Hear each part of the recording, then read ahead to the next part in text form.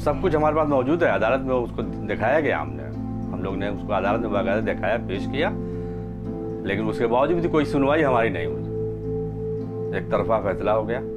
यहाँ के प्रशासन कह रहे हैं कि ये अवैध बनी हुई है बिल्डिंग, ये मकान अवैध बना हुआ है, जबकि हमारा उस ज़मीन का रजिस्ट्रेशन का पेपर है, बैनामा है, और उसके अलावा नक्शा पास था, फिर भी उसको अवैध बता के गिरा दिया गया।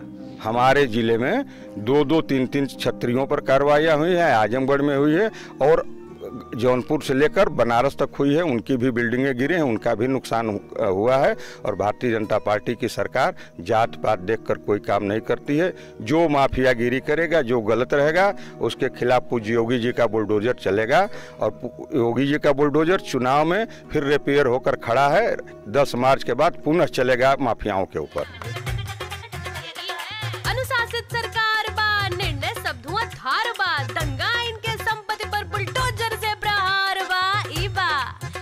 भैया ई बा यूपी में ई बा अरे ई बा Hello and welcome to News Laundry's election coverage. I'm Akansha Kumar and along with my colleague Shivangi Saxena as part of our Enel Sena project on assembly elections, we have reached Mau district in eastern UP. The structure that you see behind me is one among dozens of such buildings which were demolished by the Mao administration due to illegality and particularly due to alleged link with local Don turned politician Mukhtar Ansari. Visuals of such buildings being razed to the ground feature prominently in BJP's campaign for these elections. Mukhtar Ansari emerged as the face of the nexus between criminal and Neta in the state of UP in the 1990s.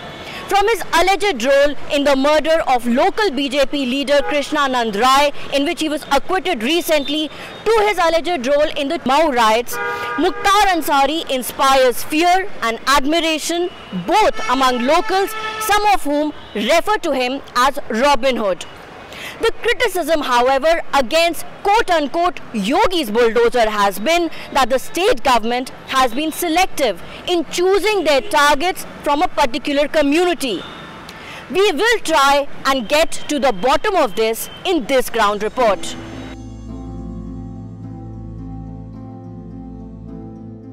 Maqsood, a 56 year old sari trader, suffered losses estimated at 90 lakh rupees after the Mau administration demolished his sari factory on November 6, 2020. He had three embroidery machines and employed laborers to work on mechanized power loom.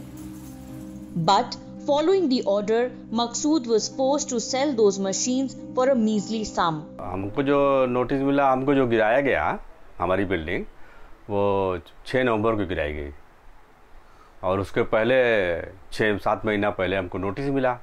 तो हमने अदालत में उसको बाकायदा दिखाया भी हम कहा गया कि भाई, आप कागज़ पेश करिए कि आपने इलीगल बनाया है। खैर, दिखाया वखाया, उसके बाद जो है, कुछ मुकदमा चला कुछ दिन, फिर उसके बाद उसको गिराने का आदेश आ गया कि आप ज़मीन को खाली करिए, गिराया जाएगा उसको। और पुलिस द्वारा क्या बोला गया कि ये क्यों गिरा रहे हैं? उसको किस तरीके से पॉलिटिसाइज किया गया ये थोड़ा बताएँ।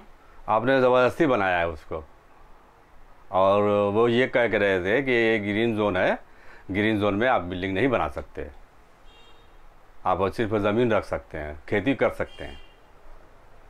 तो हम पावर ज़मीन लिए हैं यानी बारह कड़ी चौदह कड़ी बाईस कड़ी तो हम उसमें क्या खेती करेंगे या क्या बोएँगे उसमें? But Maqsood had purchased this property in 1998 while the green zone notification was issued in 2004.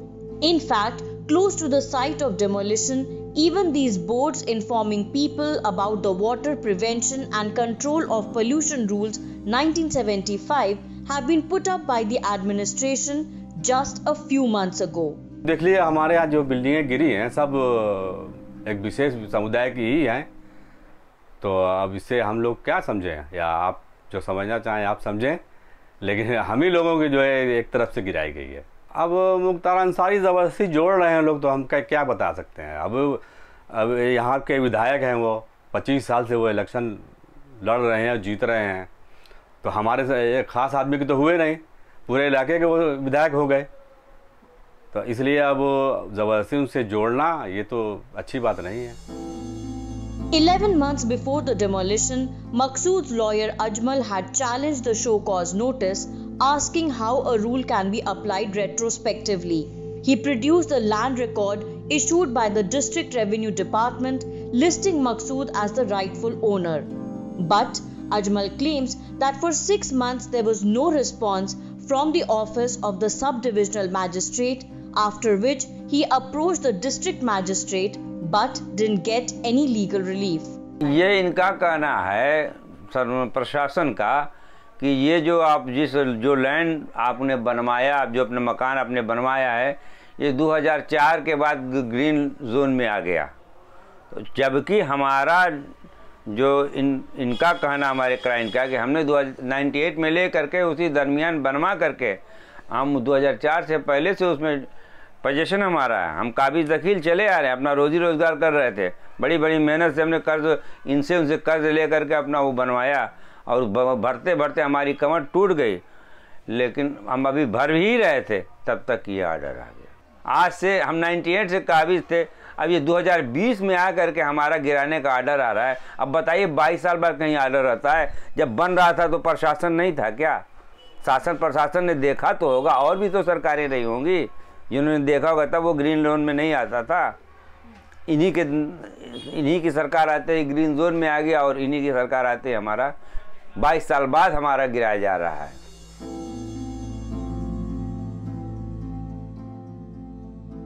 52-year-old Naushad has been into the furniture business in Mau since 1986.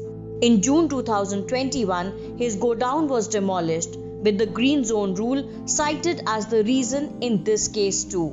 But a building near the godown, inhabited by a Hindu family, was left untouched, leading to questions of bias. Like Maqsood, Noshad also says that his land purchase was legal According to one of his relatives, Noshad was not given enough time to respond to the notice. आपकी तरफ़ से ये property के document सारे legal हैं आपके? सारे legal हैं सब एक नंबर से हैं। और प्रशासन की तरफ़ से बोला क्या गया जब ये बिल्डिंग गिराई गई प्रशासन की तरफ़ से बोला गया कि ये अवैध बिल्डिंग बनी हुई है ये नक्शे के जिस तरह से नक्शा पास है उस तरह से नहीं बनी हुई है बिल्डिंग अभी क्या स्टेटस है सर इस केस का? आप कहीं इसको अदालत में इसको नहीं अभी अभी तक तो हमने अदालत में कोई इसके बाद गिरने के बाद कहीं अप्लाई नहीं किया। पुलिस ने इसमें आप क्या बोला है और इसको आप क्या किसी कुछ राजनीतिक कारण मानते हैं इसके पीछे? अरे गिराने के बाद शाम को छह बजे पत्रकार वार्ता में प्रशासन ने कहा कि ये मुख्तार गंग के आदमी थे। इसलिए इनकी बिल्डिंग को तोड़ दिया गया। News Laundry went to five such locations in Mau where buildings had been demolished recently, with the police in their formal statement linking the owners with five time MLA Mukhtar Ansari. Not everyone was willing to speak, fearing reprisal. At the Ghazipur Teraha in Mau, this shopping mall, Paris Plaza, was demolished in November 2020. When contacted, its owner Isa Khan and his lawyer said they were out of town. At BT Chowk in Mau, the city mega mall was demolished in September 2021. When contacted, its owner Umesh Singh refused to talk. This was the fifth stop, a slaughterhouse that had been demolished in Malik Tola. When we contacted the owner, he refused to comment. Interestingly, the local media latched onto these cases, referring to the owners as Mukhtar ke Gurge. Gurge being a Hindi term for henchmen. Barely any report has a version of the traders involved. At the Mau District Court, we met Advocate Daroga Singh, who has represented Mukhtar Ansari in several cases over the last two decades. Singh calls the action against traders, including the demolition of two properties owned by Ansari, as an appeasement tactic. देखिए कोई consultative figure तो नहीं है लेकिन ये मैं जानता हूँ मुख्तार नसाई से संबंधित कम से कम दस बारह लोगों के मकाने और होटल वगैरह उत्तर प्रदेश सरकार ने ढवा दिया है इसको मैं जानता हूँ। और अगर हम आपसे पूछें कि प्रशासन द्वारा ये जो एक्शन लिया गया है इसका लीगल बेसिस कितना सॉलिड है?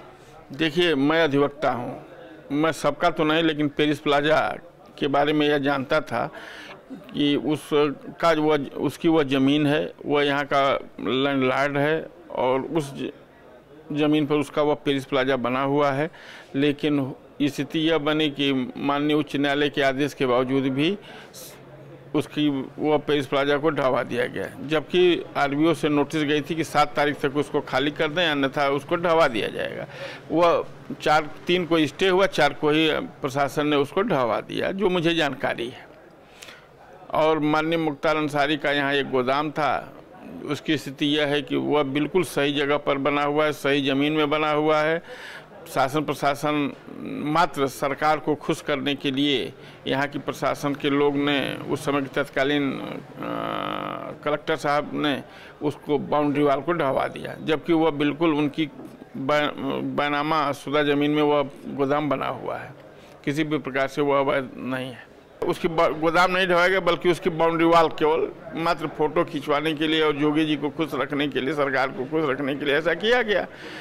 बकिया तो एक चौदह में कुर्क किया गया है तो चौदह की कार्रवाई जो है अपना वो तो साबित करना है उसमें भी अ, जो ज़मीन जिसकी है उसके खिलाफ जो है इस ढंग का कोई मुकदमा ही नहीं है फिर भी चौदह में वो कुर्क कर ली गई है उसको सक्षम न्यायालय में उस जो कुर्की आदेश है उसको निरस्त करने के लिए प्रार्थना किया जाएगा।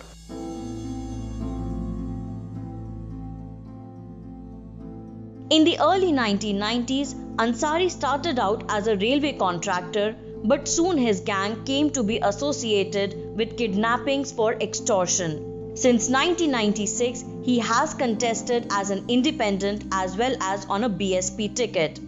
He is known to have influence in the Varanasi, Mau, Gazipur, Jaunpur region. He is also accused of inciting communal riots in Mau between 14 to 15 October 2005. Members of the Hindu Yuva Vahini, a private militia formed by Yogi Adityanath, are also said to have been involved in fueling riots allegedly over a delay in Bharat Milap ceremony that year. A video clip of Ansari moving around in a jeep carrying arms and accompanied by police in defiance of curfew orders is cited as a reason behind incitement of riots. But providing a rather contrarian view in their book Everyday Communalism, authors Sudha Pai and Sajjan Kumar write, quote, all the Muslim respondents held that he, Mukhtar Ansari, was wrongfully portrayed by the media that ran his video with the voice clip in the video muted. In fact, he was appealing to the crowd to calm down and not to escalate the violence. However, given the domineering image that Mukhtar Ansari evokes, his very presence on that fateful day contributed to further aggression. Unquote. In 2005, he was also named as an accused in the murder of BJP MLA Krishnanand Rai. He was acquitted in July 2019.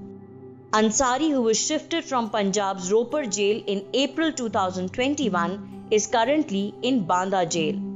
For senior journalists in Mau such as Rahul Singh, who has been tracking Ansari's career trajectory since the last 17 years, he first attracted significant media attention when an editor was allegedly abducted in 2003 for writing a story about illegalities in the distribution of a contract. 2003-4 की तीन की बात, तीन चार की बात रही होगी। द्वारिका गुप्ता का एक हमारे वरिष्ठ पत्रकार हुआ करते थे, हम लोग के बहुत सीनियर जर्नलिस्ट थे। तो उनके साथ एक इंसिडेंट हुआ था ज़बरदस्ती ठेका लेने का। तो उन्होंने विरोध किया था और उन्होंने अखबार में लिखा था जिसमें कि उस समय के कुछ लोगों ने द्वारिका गुप्ता को उठा लिया था जिसका विरोध हम पत्रकारों ने किया था और हम लोग तत्कालीन डीएम उस समय नवदीप रिनुआ हुआ करते थे तो हम लोग अपने सीनियर लोगों के डेलीगेशन के साथ हम लोग गए भी थे उस पंचायत में सम्मिलित भी होते। बाद में उस मामले का पटाक्षेप हो गया बिना किसी लिखा पढ़ी के। तो उस समय से शुरू होता है और मामला आता है 2005 के मऊ दंगे से सबसे ज़्यादा जो मुख्तार अंसारी को आ, वो मिलता है स- जब से ख्याति मिलती है अगर किसी भी घटना के लिए तो स- 2005 का मऊ दंगा होता है। मऊ दंगे में जो मुख्तार अंसारी के सीधा जो बात अगर आती है कि मुख्तार अंसारी का जो जो एक रामलीला के भरत मिलाप के समय जो तार नोचने की बात आई थी और उसमें आरोप ये लगा कि उनके द्वारा फ़ोन के जो पकड़े गए थे चार आरोपी थे उन्हें जो तत्क, तत्कालीन एसओ द्वारा छोड़ दिया गया तुरंत। जो कि एक विकृत रूप ले लिया और सुबह होते होते वो एक दंगे के रूप में बदल गया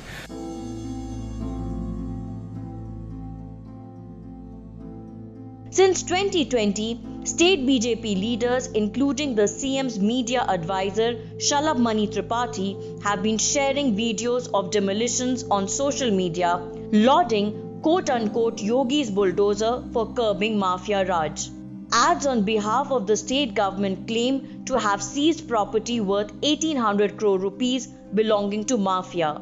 Law and order has been a recurring theme of the poll campaign this time. In January, folk singer Neha Singh Rathore slammed the UP government, citing the Lakhimpur Kheri case in which the son of Union Minister Ajay Mishra Teni is an accused.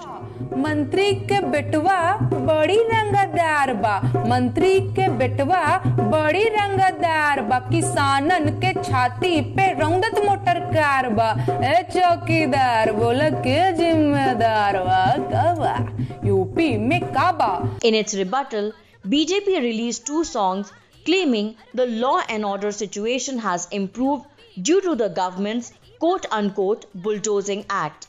Mukhtar Ansari has repeatedly come up in the campaign and speeches by BJP leaders.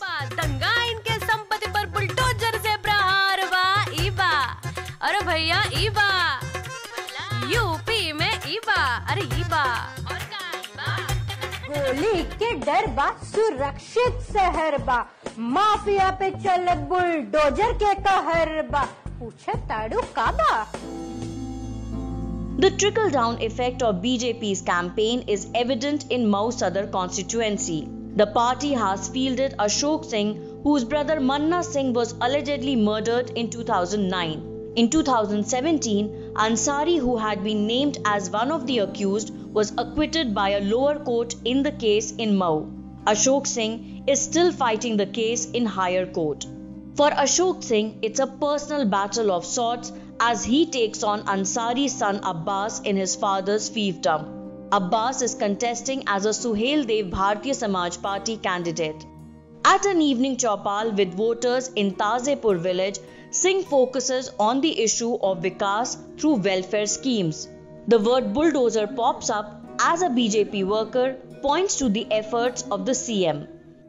हमारी तो ये उम्र हम अपनी उम्र में नहीं देखे, हमको लगता है आप लोग भी नहीं देखे होंगे। अपराधियों के खिलाफ खुला बिगुल बजा करके अपराध से अर्जित धन को बुलडोजर चला के ध्वस्त करने का काम किया है मुख्तार अंसारी यहाँ का माफिया विधायक था। हर साल दंगे होते थे, दंगे में हिंदू, मुसलमान दोनों प्रभावित होते थे। मुसलमानों के धंधे बंद हो गए, बाहर जो साड़ियाँ जाती थी, बुनकरों का रोज़गार बंद हो गया दंगे की वजह से। और जब से पूज्य योगी जी की सरकार बनी है 2017 से, पूरे प्रदेश में न एक दंगा हुआ है, न एक फसाद हुआ है। सब लोग अमन चैन से जी रहे हैं। योगी जी का जो लॉ एंड ऑर्डर को लेकर रिपोर्ट कार्ड है, एकमात्र जो उसमें क्रिटिसिज्म है वो ये है कि शायद उन्होंने जो क्रिमिनल ठाकुर कम्युनिटी के थे उनके खिलाफ इतना एक्शन नहीं लिया है जितना कि मुस्लिम समुदाय या और कम्युनिटी से लिया है क्योंकि बार बार मुख्तार अंसारी अतीक अहमद का ही नाम उठाया जाता है। इस पर आप कुछ कहना चाहेंगे? मुख्तार अंसारी और अतीक जितना अपराध किए हैं और अब तक अपराधों में लिप्त हैं उतना उतना अपराध तो किसी ने किया नहीं और यह कहना गलत है कि केवल माइनॉरिटी के लोगों पर ही, मुस्लिम समुदाय के लोगों पर ही कार्रवाइयाँ हुई हैं।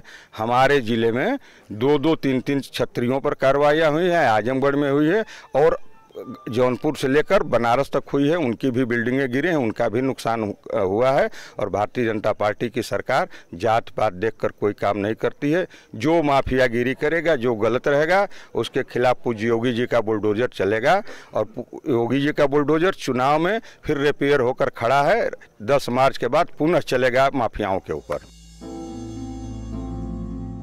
We are in Khiri Bagh locality in Mau district. And uh, through the day we speak to many locals here, some of whom are not so convinced about the candidature of Mukhtar Ansari's son Abbas Ansari who is contesting election on a ticket from Suhail Dev Bharatiya Samaj Party.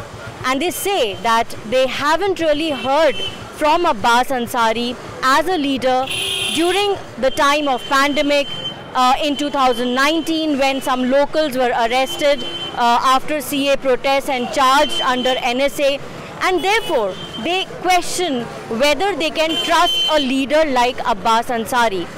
And also there is something that I would like to point out to our viewers here that within the you know circuit of people who know Abbas Ansari well, who have probably voted for his father over several decades, there is another stream of thought that probably Abbas Ansari might sail through this time. And if you can just see, you know, in among all the campaign stickers put out here, there are stickers from representatives of different political parties, be it Congress, BJP, Peace Party, but nowhere in Mau, wherever we went, wherever we, you know, uh, traveled, we did not come across any such campaign sticker or poster on behalf of Abbas Ansari. And, you know, we are being told that he, in fact, is so confident of his victory that all he is doing right now is focusing on campaigning and meeting people, interacting with them during Nukkar Sabhas and Panchayats in the rural areas. So we will talk to people here in Khiri Bagh and try and understand what do they think of Mukhtar Ansari trying to pass on the baton to his son Abbas Ansari. जो लड़के हैं घंटी मंदिर में घंटी इतनी नहीं बजी होगी जितने स्टूडेंट को मारा गया इस सरकार में रोज़गार नहीं है मैडम योगी के law and order report card पे आपका क्या मत है देखिए मुख्तार अंसारी कोई मैडम मुद्दा नहीं है। या मुख्तार, सिर्फ़ मुख्तार निस्तनाबूद नहीं है। योगी ने नहीं किया निस्तनाबूद योगी सरकार में उससे बड़े लोग बैठे हैं। अजय मिश्रा टेनी क्या है? किसानों के ऊपर उनके लड़के चला दे रहे हैं गाड़ी। उससे बड़े वो बैठे हुए हैं। सबसे बड़ा मुद्दा जहाँ आप यहाँ हैं, मऊ बुनकर बाहुल्य इलाका है। सबसे बड़ा मुद्दा यहाँ लाइट का है। और 2006 में मुलायम सिंह यादव ने बुनकरों के लिए फ्लैट रेट पे पासबुक दिया था। हमारे यहाँ फ़ी लूम बहत्तर रुपये के हिसाब से मुलायम सिंह ने फिक्स किया था। वर्तमान सरकार ने उसको कैंसिल कर दिया और लगभग पाँच साल से यहाँ का बुनकर लाख दो लाख का कर्जदार हो गया है। उसकी कोई सब्सिडी या कोई छूट हम लोग को नहीं मिली। सबसे बड़ा मुद्दा इस क्षेत्र का और यहाँ का सबसे बड़ा यही मुद्दा है कि हमको लाइट मिलनी चाहिए और फ्लैट रेट पर मिलनी चाहिए। और अ, किसको फिर वोट देने का आप सोच रहे हैं? देखिए इस वक्त पूरे उत्तर प्रदेश में गठबंधन का ये ज़ोर चल रहा है यहाँ भी गठबंधन का।